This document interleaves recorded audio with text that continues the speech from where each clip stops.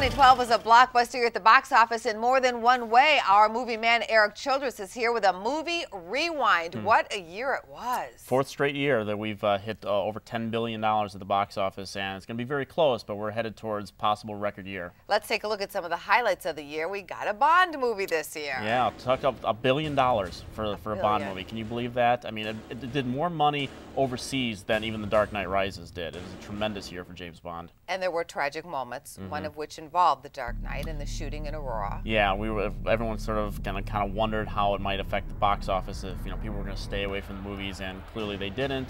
They went and saw it, and it was the second highest grossing film of the year, also at over a billion dollars worldwide. The Watch, of course, though, was a poorly timed movie because it was mm -hmm. on the mm-hmm. heels of the killing of Trayvon Martin, and it had to do with neighborhood watching. Yeah, it was originally called Neighborhood Watch, and uh, then they, they changed the movie to The Watch, and I don't think it really mattered one way or the other because it wasn't a very good movie, and people didn't want to see it. So. Well, let's take a look at the final numbers at the box office or thereabouts. The Avengers, a big winner mm-hmm. budget-wise mm -hmm. this year. Yeah, well, I mean, 1.5 billion dollars that movie made. It was a tremendous hit uh, for Disney and Marvel. And uh, even with a $220 million budget, it's still a gigantic success. Also on the top 10 list, Ice Age, The Hunger Games, The Twilight Saga, The Dark Knight Rises, Skyfall, Madagascar 3, Ted, Titanic 3D, and Taken 2.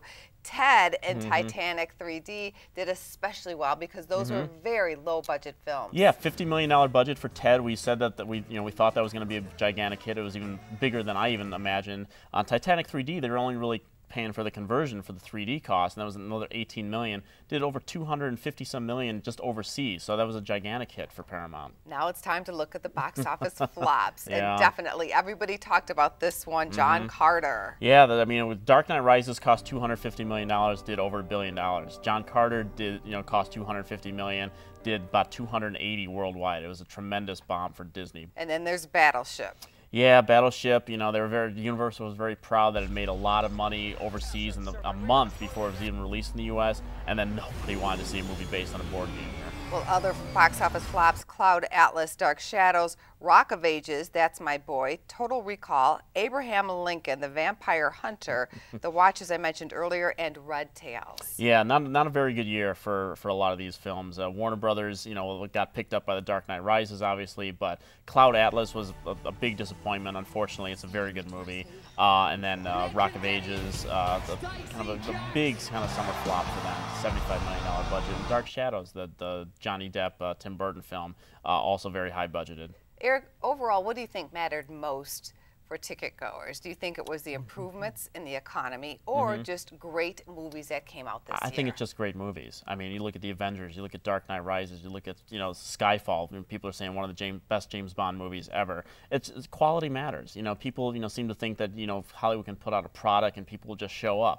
And that is the case sometimes. But when you get a movie that exceeds even its own sort of epic status and, you know, through the marketing and all that kind of stuff, and people just want to see it and then it becomes an event and more people go see it. And they tell their friends, and then they go see it again. So people will just want to see great movies. That's all we want. And it's going to be a terrific year at the Oscars. Thank be. you for all your help this year. Thank you very much for having me.